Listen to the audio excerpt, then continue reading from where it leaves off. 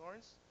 Um, I'll be talking to you guys about prioritized garbage collection and how we uh, use the garbage collector to support software caching. And this is joint work with my advisor, Sam Guyer at Tufts University, and Emery Berger from UMass Amherst.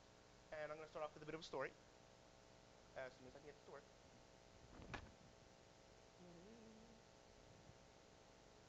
Okay. Technical difficulties. Thank you. So, start with a different story. So on the left we have browsers, what we're normally used to. On the right we have a web server. And we're used to web servers making these requests for, for HTML pages and getting back these HTML documents. So what happens when, oh, what happens when a bunch of browsers, or the same browser, makes the same request multiple times, well, the server has to send the same document back multiple times. And we routinely solve this by putting a cache in the middle, so, uh, usually something at the software level. And there are actually programs that just act as caches, the, one of the big ones being the memcache daemon. But that's written in C, which is kind of unsafe in terms of memory. So we'd like to write it in a memory safe program like, oh, I don't know, Java. And so let's see what happens when we uh, look at the performance of this program written in Java. And so we have this graph. On the bottom, we have the number of uh, the maximum number of cache entries that are allowed in the system. Y-axis the amount of time that the entire program takes. And we start off with no cache, and we see it takes a while, so maybe adding cache will help. And it turns out, yes, not only does it help, but as we make it bigger, we, our program runs faster. So we think, well, if we make it even bigger, it'll run even faster. And no. Now, the question is, why? And especially since it's interesting because at this point around 600, there's no bar because our program crashed. And diving into this, we see that um, actually our program gets, uh, our program runtime is dominated by garbage collections as we increase the number of maximum entries in our cache, and in fact, that's what kills our program. So it's a question of why. Well, we have our cache here. This is our heap, and this is our cache on the side. And a lot of our garbage collection time spent is spent just saying, hey, all these are live, you're using these, and I'm going to keep them. Which we'd like to find a way to uh, minimize that. But there's something else. So let's say we ran, uh, ran, uh, sorry. So say we ran this experiment multiple times. He said, hey, we found the perfect cache size. It's whatever this is. There's a slight problem because while it's perfect for this set of elements, another set of elements could be too small. And while it'll still fit and our program will run, we can always use more space and get a better runtime out of it. But our elements can be too big and needs to use less space before it runs out of memory. And finally, there's one other little thing, which is Let's say we did find the perfect cache size and all our elements are perfect size, everything's great. Well, when we evict an item, to put something new in here, the evicted item stays in memory. And if we evict more items, we put more back in. So now we have we essentially have all of our old elements plus all of our new elements all stuck in a heap, which is going to end up giving end up leaving less room to actually do some useful work. So is there a way that we can actually keep the garbage collector from dominating our runtime and handle these entries of various sizes? Well, yes, um, we can use soft references. Those are a thing. And soft references are very good because um, they're reclaimed as memory pressure increases. So it's, a, it's sort of a last-ditch effort to reclaim memory before we end up, our program falls over and dies from out running out of memory. But looking at the Android documentation, there's a bit of a mismatch. Uh, I'll read you just the first two sentences. In practice, soft references are inefficient for caching. The runtime doesn't have enough information on which references to clear and which to keep. So that's kind of a problem. And in fact, there are, most JVMs end up having to do some uh, bit of work to actually remove them during normal operation instead of waiting till the very end. And uh, Hotspot in particular uh, removes them in a least recently used order, which works for some programs but not all. So our solutions are we're going to make the garbage collector aware of these caches and its contents. And to that end, I present two things. One is the prioritized garbage collector, which separates the, the policy of these references from the actual mechanism that, that uh, collects them.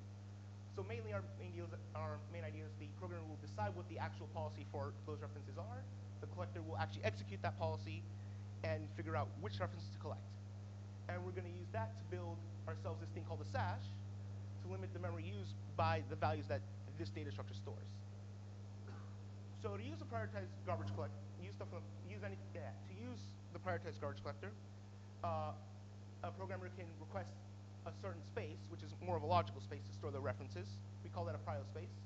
They can express it in a number of bytes or in a percentage of the heap, in this case 60%. And what that program will do is, over time, they'll ask for the space for a new reference for a particular object, and they'll get back this uh, prio reference which works like a normal reference in Java, which means particularly you can get the object back from the reference. Obviously, you should check if it's null beforehand, because it might be cleared. And particularly for us, what this will do is that it'll tell the space to update the reference. And what do I mean by update the reference? We want to update the priority. So in other words, its importance to the current application. And that's all determined by this compare function. This determines the eviction policy of the space, as, or in other words, the importance of a particular reference when compared to another. And ideally, the higher the, the higher the priority of a reference, the more likely that it should remain in the system, because for the programmer, that means this is a very this reference and its associated object are very important, and therefore we might end up using that again. And so what happens? So this is the this is the policy. The mechanism is actually very simple. The collector will just go through each of those prio spaces and just calculates how much actual memory that these references that these objects use. And when it finds that uh,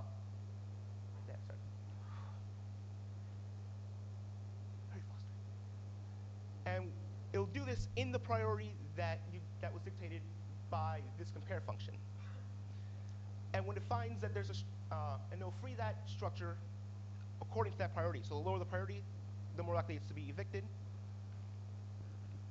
And with, so we have this, essentially this edited garbage collector, but that doesn't really solve our cache problem on its own. So we implemented the Sache, which is short for a space-aware cache, and what this is is a data structure that uses the priority, the prio space to constrain memory usage for that data structure.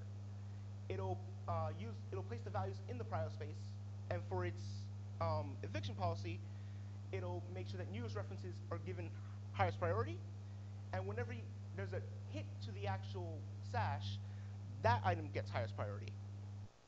Basically, an LRU. And just so you know, this is what the Sache looks like. It's just a hash map that also happens to have a prio space stuck in it. And so now we have an example of how we would use this Sache in some program. So we're just going to make a Sache with a limit of 60 bytes, put three things in it, get something back, and a GC will happen. On the right, we have the current state of the heap, and I'm just going to make a distinction of the items that are marked by the marks, the regular mark sweep, and the items that the prioritized GC specifically marks itself. So we start off, we make this map for 60 bytes. So now we know that this space has a limit of 60 bytes, and currently it's empty because we haven't put anything in it. Um, we're now going to put in the key one with the uh, with the value d, and d is a root to some data structure, this list. And so we're going to make a new prio reference called R1, put that in the space, and associate it with d. Now we move on to the next item, which is key to value A. And we're just going to do the same thing. We're going to make a reference for that, R2, associated with A. And we're going to put the R2 at the head of the space because now that has highest priority because it's newest. Then we go to the key 3 value H, and we do the same thing, make a new reference, it's at the head of the space. And finally, we get the value associated with 1. And that doesn't change the heap, but it, allow, it forces R1 to be at the front of the space because it's the most recently accessed item. And then we do some work and a garbage collection occurs. And so now we switch over to the prioritized garbage collection. And the first thing we do is we mark all the, all the entries in the space, which means we're going to try and we're going to mark all these uh, prio references. So we mark R1, R3, and R2 in the priority order. Then we're going to go off and mark all the roots in our program. In this case, I happens to be a root in our program. We're going to do a depth first search from those roots. Our map is reachable because we're currently using it. And we're going to mark E. Note that we don't go past these references because they've been already marked.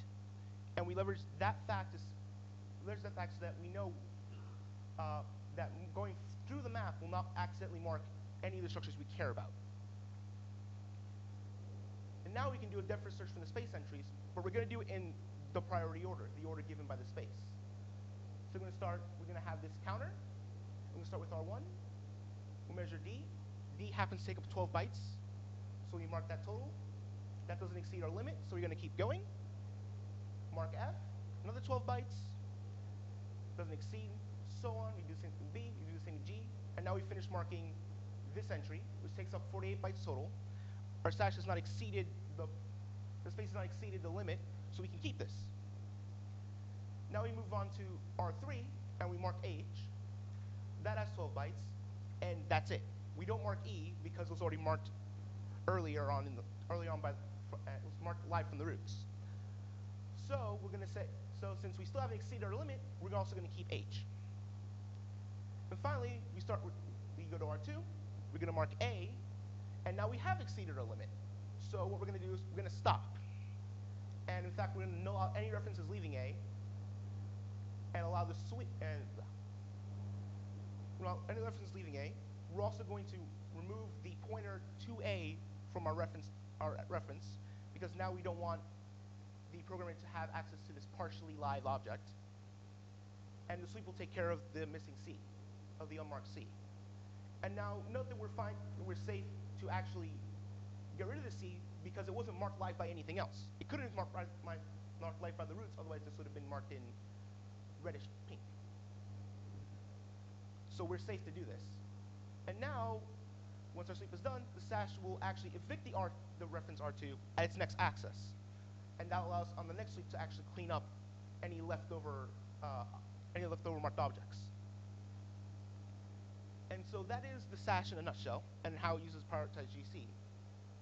But we want to see how well it does. And so to do that, we ran an experiment where we made a bunch of traces. These are just basic string integer pairs. The string's just some unique identifier. It's not very important. What matters is the number, which is the, the size of the structure we want to create. And in, this is in terms of bytes. And we make sure that the sequence follows a Pareto distribution, mostly because uh, Cunha et al. found that web-based traces actually follow this distribution, and we want to follow, uh, we want to look at what is, uh, something as close to web traces as we can, while varying the size. Um, so our experiment, our program is trace-driven, so it's going to read in these requests, look them up in the cache. If it finds it, great, perfect. If it doesn't find it, uh, it creates and stores a tree of the specified size and puts it in the cache. And what we're going to do is we're going to change the actual cache that's used, and we compared against two of them. We used the Google Guava cache using its LRU policy and left it fixed sizes. And we also compared it against compared it against the Sache, which uses fixed percentages of the heap. And we implemented the prioritized GC in all this in the Jikes Research Virtual Machine. And so what we get is looking at one workload, which ranges from 50 to 100 kilobyte trees, we see that the performance of the two are about the same for the most part. We see there as a point at the end that the stash is able to hold on to more elements than the, Go the, Google, uh, the Google cache is. But we also get a pretty good hit rate no matter where we are on the actual number of entries, which is exactly what we wanted.